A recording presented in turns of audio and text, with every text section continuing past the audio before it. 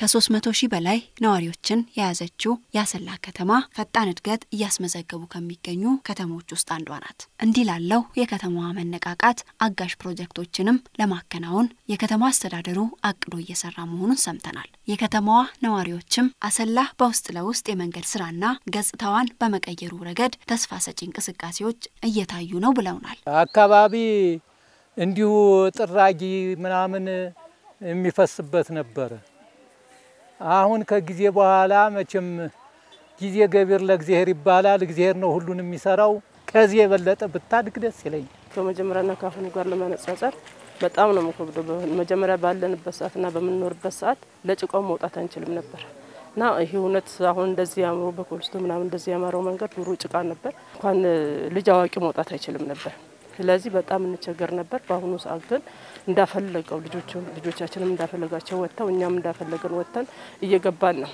አንደኛ የብዙ አትሌቶችም የብዙ አመራሮችም ምንጭ እንደመሆኗ መጠን ከዚህ የበለጠ ትለወጣለች ብለን እንጠበቃለን። ለዛ ደግሞ ያው ባለፈው የተጀመረው የባዛር ስራዎች አንዱ ማሳያ ስለሆኑ እነዛ ላይ የተሳተፉት አካላት በሙሉ ይገባኛል የሚል የራሳቸውን አስተዋጽኦ ስላደረጉ ያ ወደ ተግባር የሚለወጥ ከሆነ ከዚህ በላይ ትለማለች የሚል ሀሳብ አለም ማለት ነው።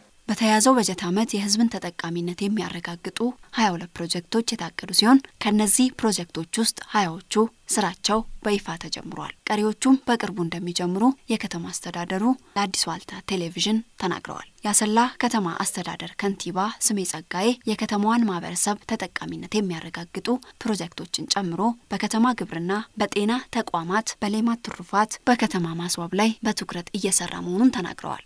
ክላስተሮችን እየሰራ ነው። የዶሮ ክላስተር አለ፣ የከብት እርባታ ክላስተር አለ፣ የስጋ ከብት ክላስተሮች አሉን። even vermi compost ኦችን በሰፊው እየሰራን ያለ ነው።